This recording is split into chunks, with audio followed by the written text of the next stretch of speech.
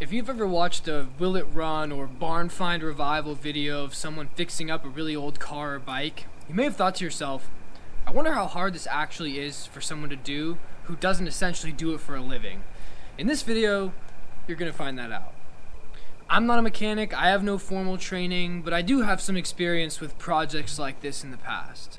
I'm going to take this 1988 Honda Shadow 1100 and try to make it capable of comfortably taking me on a couple hundred mile road trip. This bike sat in my friend's dad's house for eight years, basically untouched. And when it's all said and done, it'll probably be as expensive and less reliable than just buying something that runs and hasn't been neglected as badly as this thing has. Before we get into that, let's be clear about something. The question is never really, will it run? But will it run with minimal effort? Is it going to be worth it to make it run? Almost anything can be made roadworthy again with enough money and effort. I mean, there are guys out there like CJ who are rebuilding bikes that have literally completely burned down. So you might be considering picking up an old cheap bike you found on Facebook Marketplace or Craigslist and trying your hand at fixing it up but wondering if you really want to put in the amount of effort it's going to take to get that project across the finish line. So the goal of this project is going to be to either inspire you to pull the trigger on your own project or save you the absolute misery of starting a project and then realizing you're in way too deep. I've had a fantasy of a really long road trip on a motorcycle for a long time, and I've also always loved barn find and restoration videos, so this video is going to be a good combination of the two. The way you're seeing this bike now is after a good amount of work, but when I first got it, the tires were ruined, the brake system was crusty, and it didn't run in the slightest. You might also be wondering why the brake caliper is zip tied up here and not connected to the rotor, and that's actually something that happened after I got the bike running, but we'll circle back to that later on. I think a lot of people might ask, what's the point when I'm saving neither money or time and definitely increasing my odds of getting stranded on the side of the road? The answer to that question is honestly the same as a question I've been thinking about a lot lately, which is why are these Will It Run videos so popular? Before we get into that, we'll rewind a little bit and I'll show you what we're working with. I've been wanting a Honda Shadow for a long time now, and my friend hit me up and said he was in Oregon visiting his dad, and his Honda Shadow, his 1988 Shadow 1100, he gave it to him for free, and then he gave it to me for free. So we're gonna be getting this thing running. Mostly complete, it's missing one of the air ducts here and a couple of the side covers. And it needs all the stuff you'd expect after sitting for you know, eight or 10 years. So tires, gonna do brakes, all the fluids. Right now, the next step is pulling the carburetors. I threw a battery in it, got it to crank over, but there's like some pops and bangs, so I know we have spark, but it, it doesn't wanna even try to idle. So today I'm rebuilding the carburetors and hopefully we'll have a running bike at the end of the day. So after some struggling, the carburetors are off. They get really stuck in those rubber boots on old bikes like this. So a lot of lube and heat and just like working it. As you can tell, my sweatshirt's off, so it, it was not an easy time. But they're off now. I'm gonna pull them apart and put some new gaskets in and clean out the jets. I'm all done cleaning it up. I'm just putting it back together, getting all the new seals in and O-rings, getting all the mixture screws put back. And I'm pulling apart the uh, old float bowl gasket. It's so old and brittle, it's basically a piece of plastic. It's just coming right apart. This next clip is right after putting the carburetors back in. Sorry to spoil the surprise, yes it will run. I was having a pretty bad day, so I overreacted a little bit to the first startup. Uh, I was pretty excited. Actually getting the engine to fire up and idle was probably the simplest and most straightforward part of this build. Can't complain though. It's nice to know the motor's healthy. Now I can move on to worrying about all the other small things. Let's fucking go,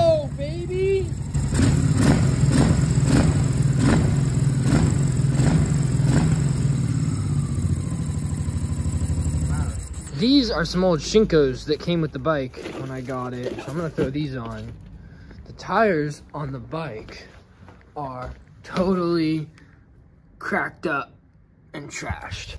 And then all the other regular service stuff. So motor oil. That oil is fresh. Probably has less than 100 miles on it. But it's okay. Some cheap insurance. Air filter because it was buggered up and full of uh, leaves. The shaft drive oil and the uh, washers and O-rings that go with that.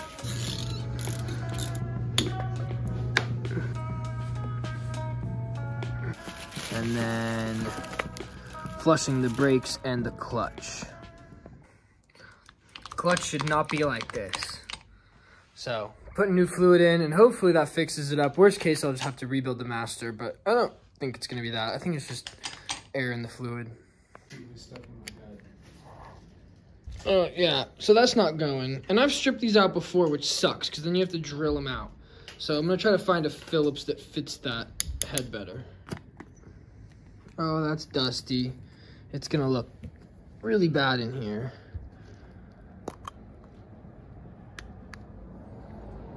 Mmm.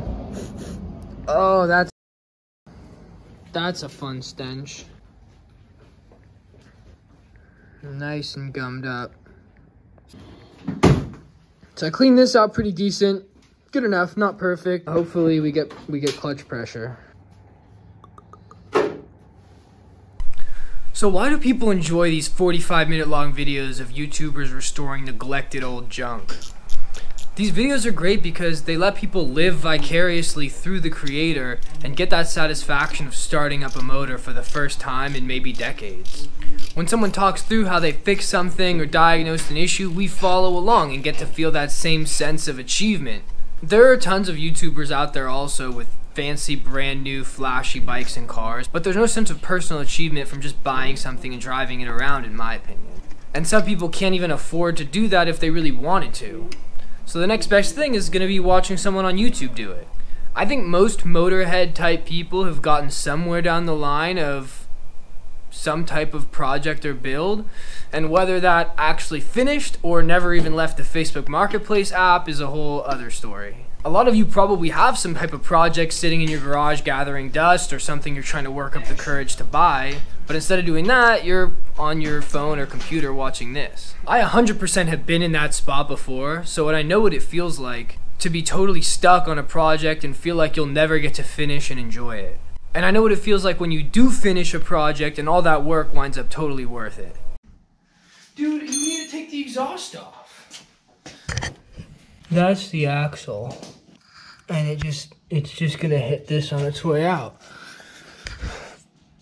All the videos of people doing 200 miles an hour and wheelies on the freeway really show the highlight reel of the quote unquote bike life. And for me, that's just the surface of what it's really all about. My first bike was this 1980 KZ750 that I bought to turn into a cafe racer. It sat in my garage for 10 months while I replaced every single piece of rubber and seal on it to try to get it to where it is today. That wasn't really an issue for me because I was as excited to work on the bike as I was to ride it. Working on a bike is actually extremely calming and therapeutic, at least when it isn't making you want to bang your head against a wall. Watching someone on YouTube do it is pretty nice as well, but it doesn't really compare to physically touching and working on the machine. Is it always fun? No, obviously not. Snapping an exhaust bolt or finding out you have to buy some expensive part you weren't planning on sucks. The reason it hurts is because I want that end result so badly, and when I finally get it, it'll feel that much better because of the work it took to get there. For example, here you can see me struggling to pull off my exhaust, and basically I'm going about it the wrong way entirely. I'm leaving that in the video to show that you don't need to be a master mechanic to do this stuff. As long as you take your time and you're careful, anyone can do this type of project. It's a lot less investment to watch it on your phone, but it's a lot more rewarding to actually do it. But I got ratchet straps onto the frame just to support it side to side. Most of the weight is on this jack so that I can have the rear wheel off the ground. And then I got the front over here on a front stand so that I can get the wheels off and get tires put on. And speaking of highlight reels, a lot of these will it run videos are literally that. You don't see them scraping gasket surfaces for hours, making the third run to the parts store for the day, stripping out threads, or any of that. But here's the thing, the process isn't nearly as easy as most YouTube videos make it look, and that's not a bad thing. It means you shouldn't care it's going to be hard and take a long time to do, because when it's done and you look back on the process, All you'll remember are the fun parts and the highlights when you're riding a freshly rebuilt bike down the road that's unique, that no one else has something exactly like the bike you built with your own hands. I'm not gonna lie, this looks and feels extremely sketchy, but you gotta do what you gotta do. How's the Gixxer coming? I think I'm good. Fortunately, the front wheels on these is a lot easier to take off. So that'll just be a couple bolts. Then I'm headed over to the dealership I used to work at and they're gonna throw the tires on for me.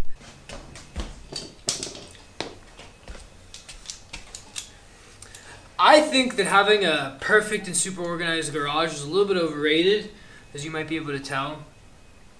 I kind of know where everything is and the amount of time and effort it takes to keep a shop looking perfect. Some of these YouTubers that have like flawless, completely clean garages. I don't understand how they do it. I think maybe they hire a maid or something because I couldn't do it myself.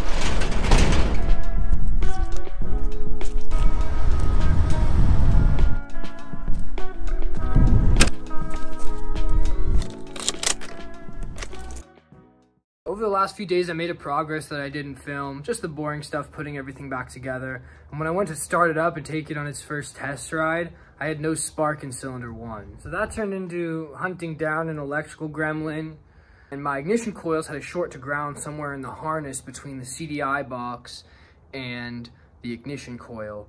I just uh, peeled open the wiring harness and found that wire at the halfway point. Um, then I just snipped it and tested which side had a short to ground still and then just spliced in a new wire from that point that middle point in the harness back to the CDI box. The correct way to do it would be to just split the harness all the way open, find the damage, find the short, and patch everything. And it's kind of a hack repair, but the bike runs perfect now, so I'll show you that. This is how it looks all put together. So it's warm because I just took it for a ride. But it starts up great even when it's cold with just choke for a few seconds.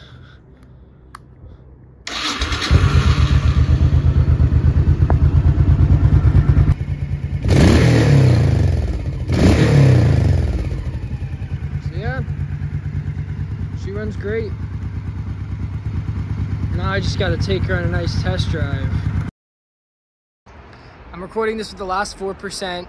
Right now I have my brake caliper zip tied to my forks because when I was getting off the freeway, my front brakes started smoking. Then I realized when I tried to move that they had completely locked up on the off-ramp on the freeway. So I'm lucky I didn't just lock up and, and fly off the bike and die.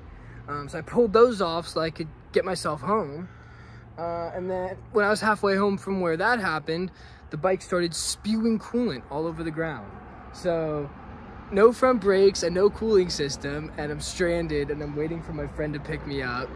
Um, I'm not gonna say this is like fun, but it's definitely part of the adventure. So,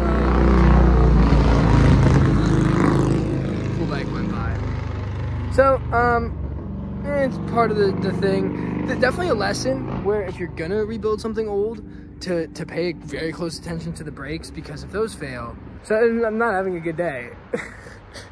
There's a puddle of coolant over here on the ground where I pulled over first. That's everything I'm going to accomplish in this video. There were some setbacks and issues that I'm going to have to tackle and figure out. After the lockup, this brake rotor might be unusable. The pads definitely are, and both master cylinders are going to need a rebuild. It doesn't look like I'm going to be able to take my road trip with any degree of security or safety anytime soon, but I'm a couple steps closer and hopefully you enjoyed that. So hit the subscribe button if you want to see part two. And next episode, we should be finishing this thing off and getting ready for my first trip, which will probably just be uh, about 100 miles down to Santa Cruz and back from where I live in the Bay Area.